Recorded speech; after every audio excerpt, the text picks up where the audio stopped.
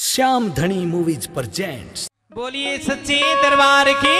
जय बोलिए दादा खेड़े महाराज की। जय हो। जाग दादा खेड़े तू आजा जागरण में।